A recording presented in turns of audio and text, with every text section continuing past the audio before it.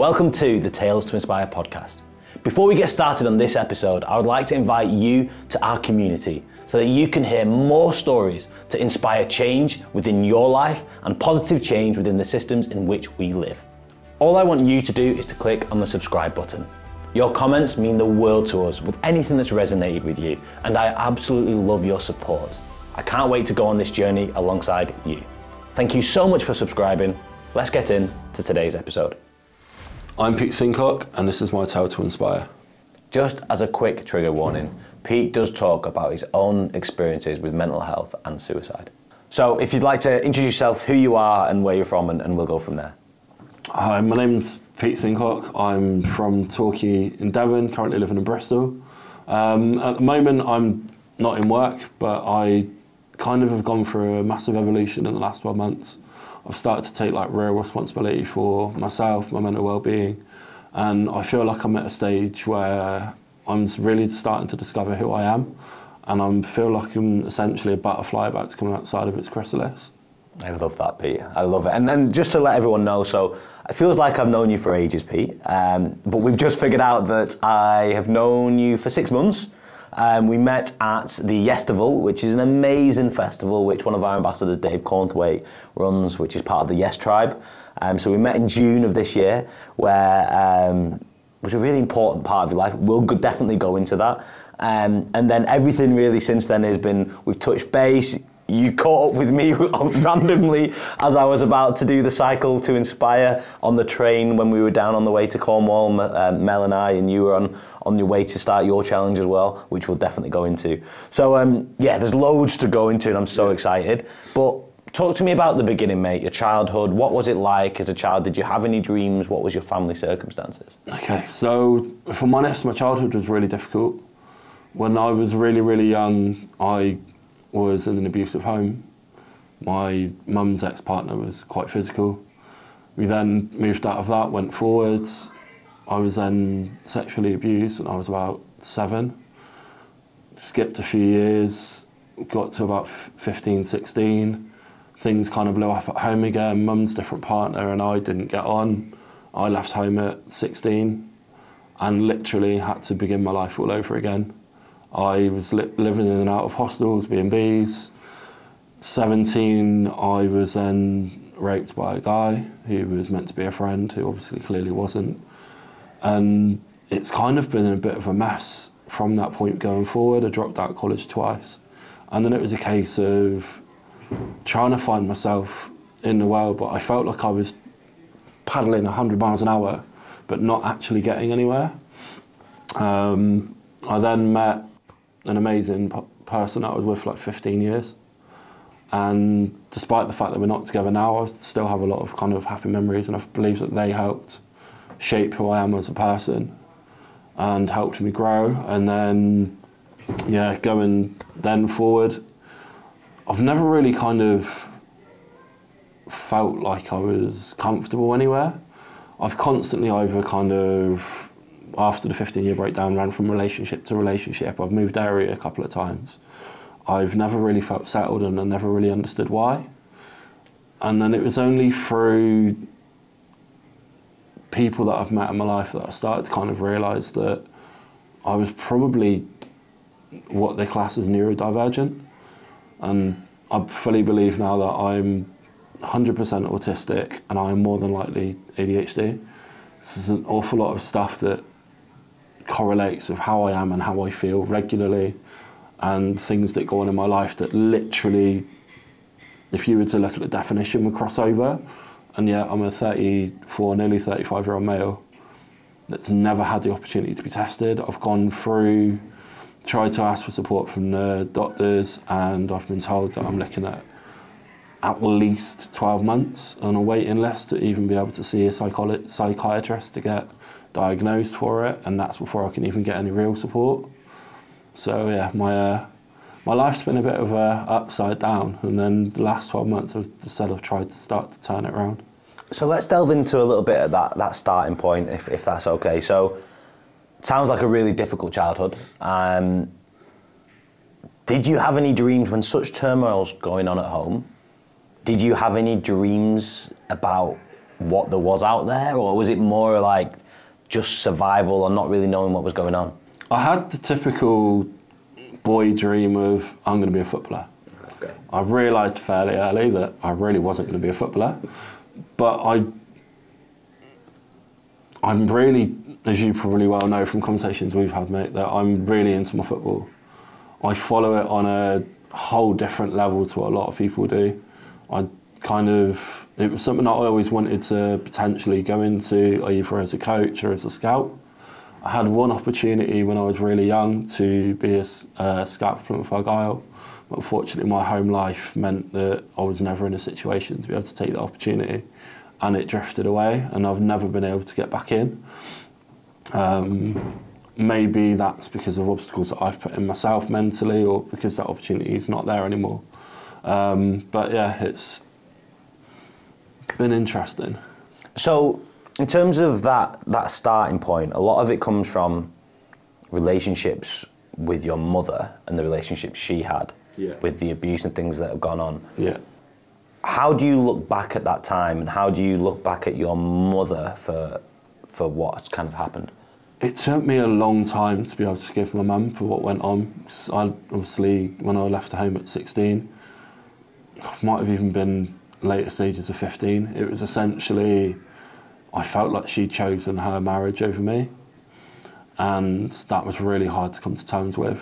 And it meant that although I kind of drifted in and out of her life, I didn't really feel close to her. And for pretty much 10 years, there wasn't really that same dialogue, there wasn't that same openness. And I still struggle to have that really, really close relationship with my family. Like this year, for instance, Christmas and New Year, I spent it on my own because I really didn't want to go home. Um, a lot of that was because mentally I've been in a fragile spot and I knew that going home could present flashpoints. So it was my way of protecting myself was to not engage with that, which for a lot of people would seem mad. You'd think that your family would be what you turn to for support.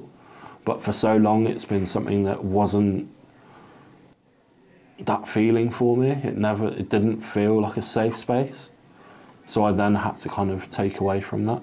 I don't know if that answers what you're asking, but Wait, absolutely. And, and how does it? How did it affect you? So you're going to school. You're a, you're a typical child. You're a, you're a lad. You like football. You like what's going on. Yeah. How did that affect you in the rest of your life? Were you able to share that with anyone else, or did you lock it in and keep it to yourself? So going through school, I, to be blunt, was should have been an exceptional student. When I was primary school level, I was in the top three percent in the country. Um, going through kind of teenage years, I then had disrupted school life. I was in fighting quite a lot. There was a lot going on, and essentially I ended up leaving school with one A, two B, six C's, and a D in GCSE, which got me into college. And I dropped out of college twice because of my home life. Just absolutely kind of it got away from me, and it's a regret now that I never finished. And I feel like I could have done so much more, but it's also a life lesson that I've kind of gone through. Um, in terms of like that progression, it's yeah, it's taken a lot for me to kind of get to a point where I now go, that was me. It doesn't have to be me. It was me, but it doesn't have to be me going forward. And that, the last year and since Yestival, it's kind of opened that new chapter, and that's kind of what I've taken from my life over the last 12 months.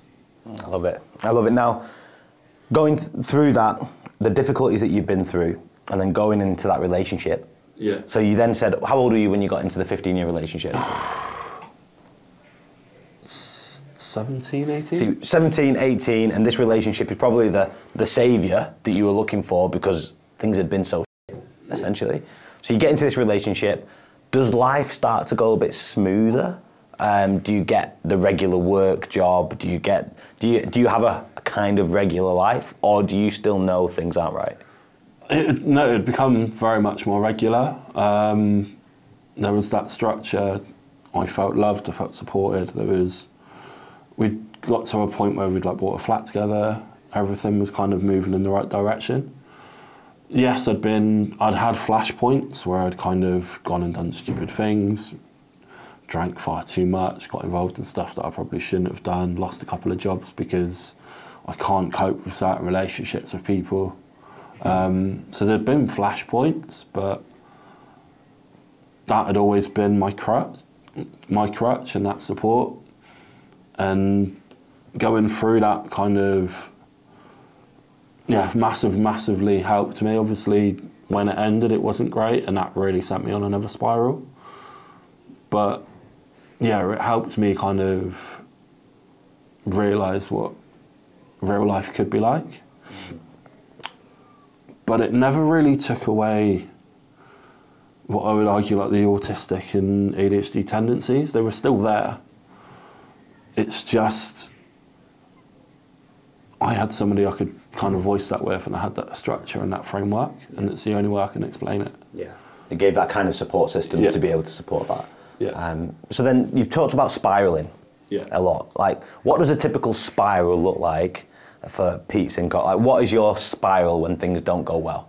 So I've been at points where I've downed a whole bottle of vermouth and tried to kill myself. I've been at top of buildings and gone to jump off. I've yeah, I've, I've when I'm in a really like bad spot, I'm a I've tried to commit suicide and I've done it on several occasions. And it, uh, I know a lot of people going, oh, that's just drama. You know, it's just uh, people do that for attention. No, they don't. The kind of sometimes they might do, and it might be that cry for help, but it's not a thing for attention, that's a cry for help. It's really important that people understand that they are two very different things. A cry for attention and a cry for help are massively different in terms of their meaning. They may appear to look the same, but if you've got a friend or someone that you think's like crying for attention, they probably really need your help but don't know how to ask for it. Whereas I was going for a point where a lot of my stuff was happening behind closed doors and people wouldn't know until after. And it would be like, I've now kind of learned within myself that to recognise the flashpoints and that building intention and that emotion. And I've got a couple of people that I'll call or I'll text and be like, help. Like, really need your help now because my head's going to this point and I don't want it to get to X point. But it's taken me a long time to start to realise that and how to manage it properly. And that makes so much sense that the fact that it takes time to get to that point. But one of the things that I've had recently and had a conversation just, just last week was talking about someone who it was in the news that someone had taken their own life and I was like, man, I feel so sorry for that person. And the person I was speaking to was like, like, what? They were like, it's a bit of a selfish thing to do. And I was like, let's let's dive into this. Like, what do you mean this is selfish? And they were like, well, what about their family members and their friends and the fact that they're not going to be there for them anymore? And I'm like, well, what about the fact that this person got to a point where there was no hope? Or they felt that they couldn't go to their family members or their friends. Exactly. Like, where do you sit on this spectrum of of how how we should, as a society, look at people who have either tried to take in their own life or are thinking about it? For people to think that it's selfish is, to me, it's maddening because to them they're doing the most selfless thing they can because they're one okay they're selfish because they're putting themselves out their own misery but i can guarantee you they also feel like they're a burden to their family they're a burden to their family and friends they'll probably feel alone even though they at the same time feel like they're a burden to their family and friends. They'll feel like they've got nowhere to turn to. They'll feel like it's the last thing. They don't want to do that. Like i can almost promise you that they don't want to actually do that. They just feel like they've got no more options and they feel like it's the end and that they have nothing more left to offer to anybody. And the best thing that they can do is to end it, to stop being that burden.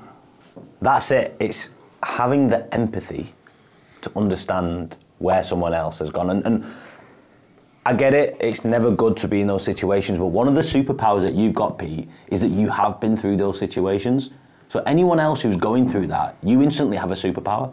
You can connect to them. When someone says, Oh, I understand you, I, I feel you, I get you, man, I actually understand you because I've actually been there. It's a completely different thing and it builds empathy.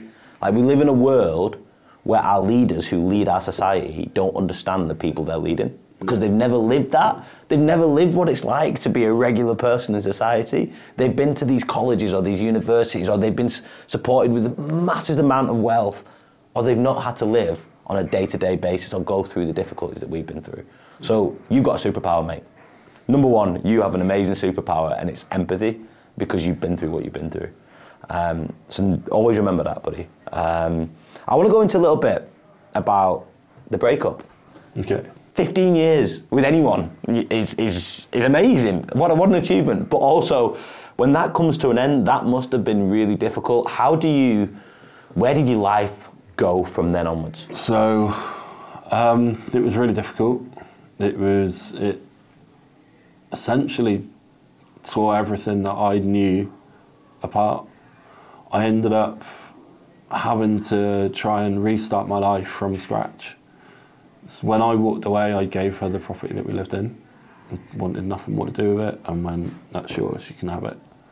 I'm, and when I say I walked away, it wasn't my choice, but it was my choice, to be blunt. Um, sounds really weird. I asked her to marry me, she said no. If you've been with somebody for that amount of time, you've brought somewhere together, and then they reject the proposal, I felt there was no more, nowhere else to go. I don't know if other people would agree or disagree with me, but I was like, what do I do from here? I then came back to the, because it was in Paris in France, came back to the UK and ended up kissing somebody that I shouldn't have. And it was at that moment, walking back to the flat with that absolute guilt and stress, and I went, if I'm able to do that, I shouldn't be with them. Because if I was truly in love with that person still, how can I possibly kiss somebody else? I walked away and that was the end. There was, it was very, very difficult, and it meant that essentially I had to get a place of my own, had to try and figure out what life on my own meant, who I, again, kind of who I was as a person, but I, I didn't take that time. I rushed from being on my own to within two months I'm on Tinder and I'm trying to get with anything and everything that moves. Worst thing I could have done. But try and tell that to somebody that's constantly looking for that support and feels that they need somebody else to give them that reassurance and love because they've not done that work themselves on themselves. Which I know sounds really odd, but if you don't, as somebody that's been through this, and I, I'm hoping some some people out there might hear this. If you haven't done that work on yourself and understood your own responsibility for your own emotional support, you can't possibly offer that to someone else. Because all you're looking for is that reassurance and a tick box exercise. If you can't ultimately support you, how can you support someone else? And that's that is essentially where we're at as a as a community in society is we have to be able to support ourselves or put in the systems to be able to support ourselves. Yeah. And then from that we can also support others. Yeah. And I feel like like you said, we often go to the the extremes of I'm gonna try and solve all my issues by going onto Tinder a million times, which is absolutely fine by the way, or whatever it is. But actually there's always an underlying thing that we need to have a foundation for our life. Yeah. If we don't have a foundation for our life, whenever the wind blows, we're just going to collapse. And the wind blows again, it's just going to collapse until you get a strong foundation. Yeah. And and that's essentially where you're, what you're talking about there. So, how did Tinder go? Where did life go? Like, what, what, what was the journey like? I mean, tell me. Right. Obviously, Tinder was Tinder. Don't need to go any further than that. um, I then kind of lived in flux for a little bit, and then I randomly met somebody on Christmas Day at a friend's house, and they were then my partner for the couple of years, and we split up last not November, just gone November before. And that was part of the spiral that then caused me to be at Yestival. Um,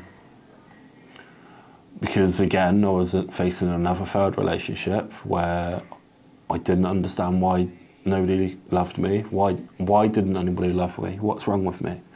Am I not attractive? Am I not a good person to be around? Do I not offer the right kind of love and support? What's wrong with me? Why doesn't anyone like me? And I felt that for so long, not just within a relationship state, but also friendship groups. I never really felt like I had a proper friendship group and meaningful relationships slash friendships with people. And there's one person that's been in my life now for a good, oh, got be five years, and I still speak to them on a nearly daily basis. And that's the one person that I could truly go. They're my longest serving current friend. That I could, I know that I could ring them at one o'clock in the morning and go, mate, I am in a fucking horrendous state, and they would be there. Special. Yeah. That's so important. So important to have, and it's like, like you said, we we keep coming back to this one, that one person to support you, that one person who could be there. Like, so so important. So then, Pete, how did you get from realizing it's all going crap to get into the life changing moment that you had? So essentially, I'd spoke. I through a friend met Scott, and Scott's the guy that I live with. Um, we'd been speaking for a while. He saw the end of my relationship go, and, and saw essentially where my head was at and how I was really was not in a good space. And from the moment I met him, he was constantly, "Are you okay? Are you good? Do you want to come over and have a barbecue? Do you want to do this? Do you want to do that?" And built a friendship with me, and was constantly trying to be there. Sometimes I would like push him away, and be like, uh, "I don't know what to do with this," and didn't know how to react. Um, and then he said, "Oh." By the way, obviously um, we've met through Yes Tribe. He's the Yes Tribe uh, Bristol leader. He was like, "Oh, you should come to the Yestival." And I gave him every excuse under the sun as to why I couldn't go. Can't afford it, mate. I can't afford it, mate. Mate, I, I'm, I'm, I'm busy. I really, I, um, uh, yeah, uh, my dog ate my homework. Whatever you can think of, I gave him as an excuse, and he just went, I've got you a ticket through an amazing gesture system that Yes Tribe run, where they give free tickets away to odd people that you have to apply for, and if they feel that the reason's good enough and there's enough money in this pot that people can donate to, then they'll give people tickets. Can't remember the exact name for it, but It's like a pay it forward kind of thing, isn't it? Yeah. and I was lucky recipient of one last year. And then, as I said, a couple of days before Yestival, I was in a really bad headspace and I tried to commit suicide. I'd gone out, I drank far too much, realised like was in really, really bad headspace and essentially got pulled down from a cliff top area in Bristol by some random guy who as far as I was aware, wasn't even there. It could have been an angel. Just literally come across in a car, jumped over, grabbed me, and buggered off again. I've never seen that person again. I've never been able to say thank you. And from then, I then went to Yestival with Scott and Laura.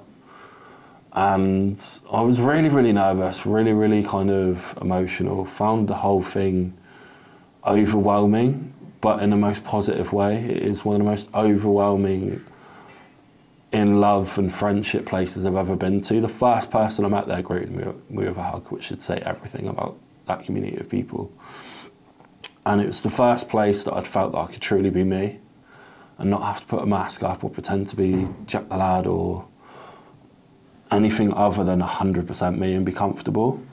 And I felt over that weekend that there was something just growing in me that was this absolute belief that yes, I could do something better and I did have something to offer. And there was amazing people there. You, for one of them, got to be honest. Um, Joe, who her surname Joe. Bradshaw? Bradshaw. Don't. I think she's climbed the seven most highest summits on, in the world. Yeah. Ridiculous woman, um, like in the nicest possible way. An amazing, ridiculous woman. Um, then there was oh, Siobhan Daniels Yeah. incredible woman again. One of our ambassadors as well. Yeah, Just- like, uh, I've heard, listened to the podcast, by the way, fantastic. if you haven't heard it, go and listen to it. It's great. it's great fun. Um, she's just an amazing woman that went through trials and tribulations and decided to change her life as well. And it was just, it was listening to all of these people that have gone through these journeys and realizing that not everyone's had an easy life, and an awful lot of these people that have done amazing things have actually gone through the shit too. And that it's okay to have gone through it, but it's not okay to be stuck in it. So it was that realization that I needed to kind of try and find a way to progress. And then something hit me on second second day, and I pledged there and then that I was going to, for the first time in 17, 18 years, get on a bike. Well, not only was I going to get on a bike, I was going to cycle to Amsterdam and watch Ajax play football. And for those that know me, know that football is my life and that Ajax were the, the epitome of what I believe current world football is. So that was my goal. And um, spoiler, I did it. Man. Within a couple of months, I'd done it. So if we go back to that time, because I was there at that time as well, um, and I remember you announcing to everyone at the Yestival that you're going to, and you said, I'm going to cycle next year back to Yestival, or something along those lines. I'm going to cycle from England to Amsterdam and back. And you was, and then and then you said something mad like, oh, and I don't cycle. I don't. I've not cycled a bike for 17 years. Yeah. And instead of everyone going like, "What the hell do you think you're going to do? How are you going to?" Everyone's like, "Yes, you can do it, B." And and you didn't just do that in a year. How long did it take you to make that determination to make it happen? I'm probably better off explaining from what happened after I left Yestival. Go for it. So I met an amazing woman there called Julie, who didn't know me until Yestival, and she saw the emotion that had overcome me and heard a little bit about what had been going on. And essentially, we'd gone off and we were having a cheeky cigarette and we were having a chat, and she went, um, This is going to sound really weird, and I want to make this perfectly clear. This is not anything untoward, but I believe that I can help you. But by doing so, I want you to come to my caravan in Scotland, spend a few days, do some work with me, and we'll see what, what happens from there. But I believe that I can help you. And I was like, oh, I'll think about it, thinking, oh my God, that's a bit much. Like, amazing offer, but I don't even know the woman. I've met her like 20 minutes max at this point. And I came, I went back to Bristol and I was, I'm in the and I was like, I'm not sure, I'm not sure. And she'd message me, like, come in, have you thought about it? Just let me know. And I was like, all right, I'll, I'll think about it. I don't know what to do. I'm really deeply unhappy in my work. I hate, I was in sales for years and I got to the point where I hated it. I woke up every day and I really didn't want to go into work. And then God, the universe blessed me. And to most people, this is going to sound like a curse, but it absolutely blessed me. I lost my job within a couple of days. I went back and was like, not in the right headspace, got pulled in an office, and they were like, right, um, we're going to either have to downgrade you or let you go. And I went, I'm going. They were like, what? I said, yeah, just fine, I'll, I'll go. Knowing in the back of my head, I'll go to Scotland. I don't know what I'm going to do after that, but I'll go to Scotland and I'll go and spend that time. The universe wants me to go and do that. So I went and spent a few days with Julie, and it started the process. Again, that reflecting, looking at myself, working out what was going on. And that then built, and then I was sat there. This is going to sound really, really odd, but we'd gone somewhere from Scotland to go and look at a property or something, and gone through the Lake Districts, and we'd stopped at McDonald's drive-through. We were talking about different options and different plans and how we could make my journey happen. And then I was thinking, oh, yeah, down the line. And then I sat there with 20 piece chicken McNugget meal and a milkshake. And I felt what I can only describe as a heart attack, but obviously it wasn't. It was anxiety. It was a full anxiety attack release. And then out of that came a moment of euphoria. And it's the only way I can describe it is it was that euphoric moment. And I went, it's got me now. She was like, what do you mean? I went, there is no other time. It's now or never.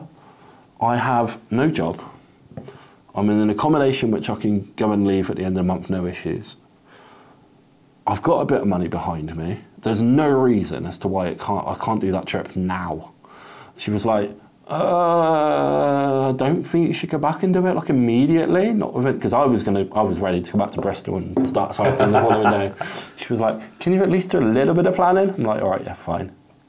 So we then looked at it and worked out that fairly shortly, the start of the Eredivisie season was going to start.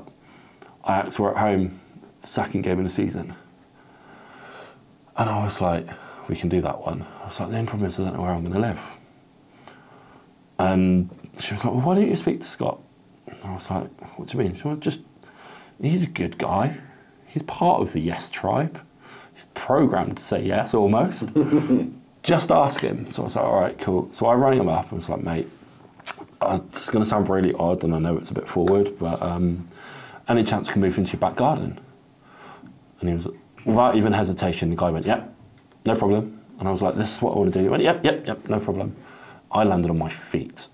Not only is Scott one of the most amazing guys ever, he's also an ex times trial cyclist. So somebody that hadn't been on a bike in years had suddenly arrived at the doorstep of someone that cycled as a passion.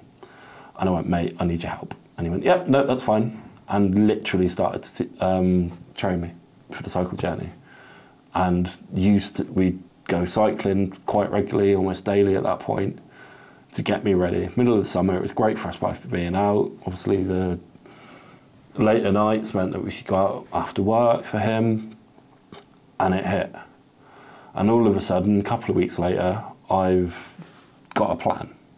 I've got everything marked out. I'd use something called warm showers, which, by the way, is fantastic for like helping people find temporary accommodation for the odd night if they're on travels.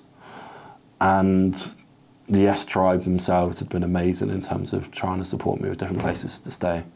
So I'd, I'd gone from being trapped in a life that I really wasn't happy in to at the start of an adventure within the space of a month. And it was, it was mad. Um, I started in Torquay in Devon, and I went from Torquay, Torquay to Exeter. This is hilarious. Turned up, I was meant to stay with somebody else in Exeter. For family reasons, they had to pull out. So I put out a shout on the Yes Tribe page, is anybody that can help me? This woman, yeah, yeah, yeah, yeah, I'll help. You can just come and stay at mine. So I thought, fantastic. Turned up at theirs. She hadn't even told her partner that she was in the Yes Tribe. he had no idea what the Yes Tribe was. And it was the kid's, her little boy's birthday the day after. So this young lad helped me set up my tent because he was really into outdoor stuff. And it was his birthday the following day, and he had some stranger waking up in his house on his birthday. Obviously, I was in the garden, but I was still there. And they were just amazing. And that was the start of like the generosity of people from there going forward. And it genuinely really helped me grow as a person, realizing that I was able to do stuff and have an impact. And one of the big things that I ultimately said that I was going to do during that time period was talk about mental health because it's real, it's important, and men need to talk about it. And it's something that I felt that I could do, and I had a platform. Now, obviously, as you probably saw, I set up an Instagram page, started kind of talking and fundraising, and the whole ride itself, I raised it for two things. Do you mind if I drop them in here? Please do, go for it. Uh, one's Andy's Man Club, which, by the way, is a male support group that runs on a Monday night at seven o'clock. If you were to go onto their website, there's probably one in your local area. As far as I'm aware, they're pretty much UK wide. And you can drop in on seven o'clock on the Monday, and it is men only, exclusive, tea, coffee, and a chat. And it's very relaxed atmosphere. And then the other one was to donate half the money to, and it's kind of the strangers tickets for the Yestival, to essentially give back to the same group that supported me and got me to a point where I was in a better place, for them to hopefully donate to other people and help somebody else the following year. Man. And how did the fundraising go? I've raised about a thousand pounds in total, which was incredible. There was um, essentially I've got a family friend who's kind of become like an adopted mum called Emma, who runs a pub in Torquay, and they raised so much money for me. It was ridiculous. Like they were following me on my Instagram and my WhatsApp. They were raising money throughout the whole time period for me, and made sure that there was a decent, excuse me, amount of money to go towards the two causes come the end of the journey, and it was amazing. Amazing. So, how long did it take you to get to Amsterdam and back? I guess is, is the is the, is the adventure. So I started in Torquay and Devon. Yep. Then went to Exeter, Bridgwater, Bristol. That was four days. Bristol to Reading in a day. Then from Reading to London, London to Braintree, Braintree to Harwich.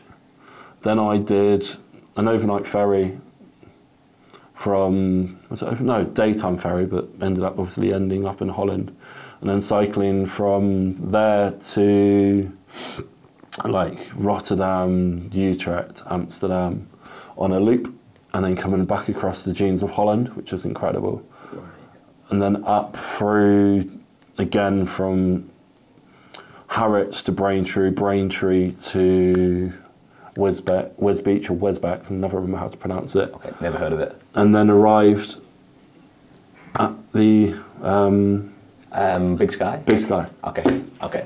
And that's so yeah. So I'd then gone from Harwich to Braintree, Br- Braintree up to Wisbech, and then Wisbech across to uh, Big Sky, where yeah, it was just that was my end point. I'd, that was where my whole journey had started, and it was the only place that I could really have finished it.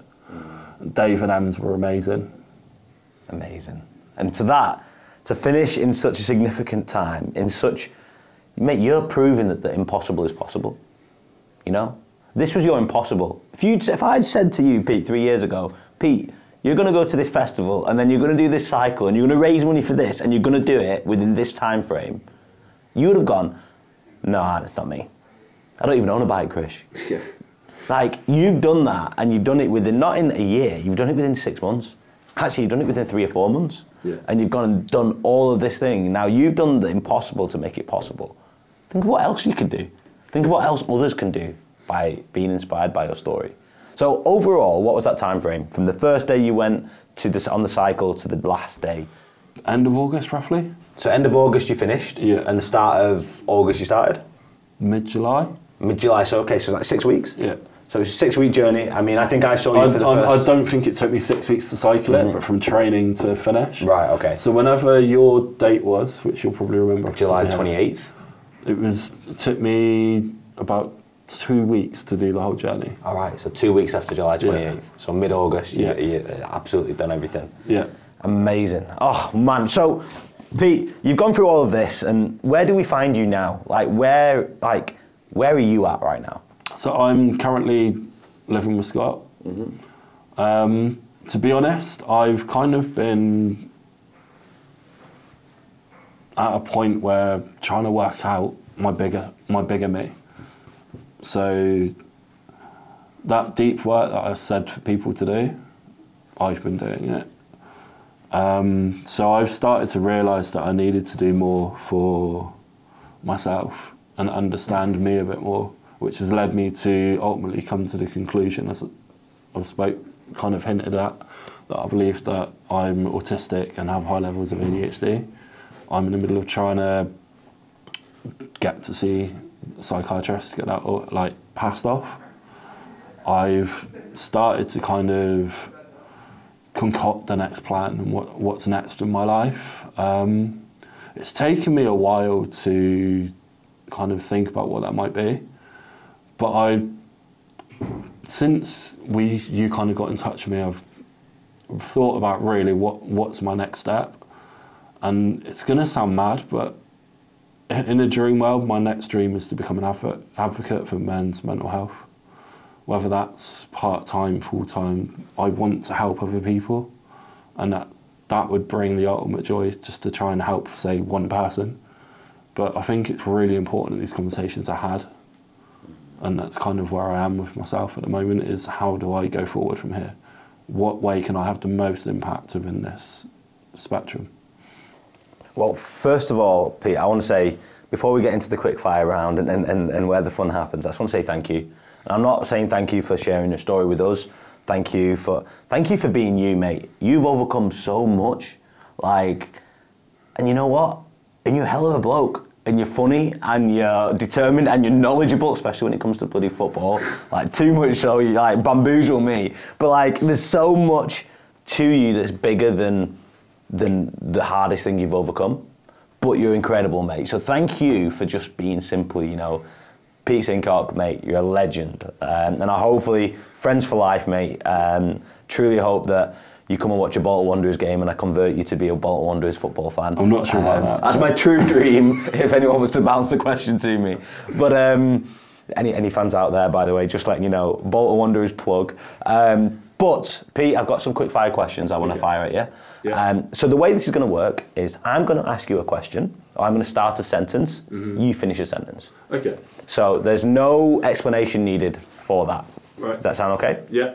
Okay, perfect. I'll try and keep this short. There you go. Life is about Maximising your opportunities.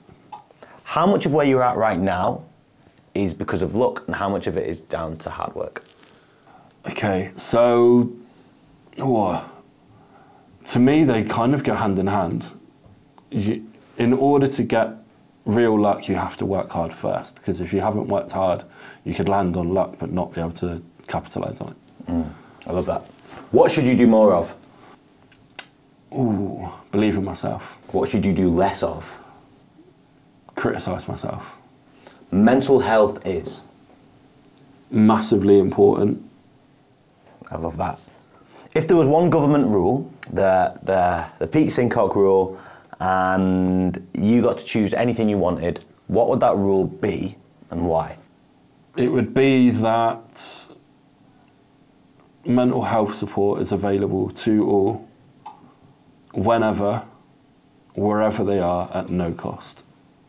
I love that. When do you feel most connected to you? Ooh. When I'm involved in sport and environment, like that. If you was to give some advice to your younger self, wherever that you want that to be, mm-hmm. what would that one piece of advice be? do the work, and that can apply to so much, but do the work. I love that. I absolutely love that. So that kind of goes through. You did really well with that quick fire. You can tell that Pete's listened to a lot of our podcasts, um, but I thought I'd put a few new ones in there as well. Um, so, Pete, the final two questions that I've asked every Tales to Inspire ambassador is the first one, Pete Sincock, what is your definition of the word inspire? Right, so the definition of the word inspire to me is to allow other people to open their minds to the opportunities that surround them. I love that. It's like taking that ceiling off and just seeing the true reality. Yeah. I love it. Um, and my final question that we've asked every Tales Inspire ambassador is, Pete, if you were to live your most fulfilled life, you got to 105 years old and you, you're like, yeah, man, I've, I've lived the life I want to live. What's the biggest impact or proudest moments you want to have achieved? So, realistically, I would like to just be remembered fondly as someone that was always there as a friend or a listening ear to somebody else. I believe that's the ultimate thing from my point of view. That's great. I mean, what a perfect title um, and theme for your life. Um, Pete, thank you so much for being on the Tales to Inspire podcast. Cheers, mate. Thank you for watching today's episode. If you enjoyed today's episode, then please leave a comment in the comment section below, and we cannot wait to see you for our next episode.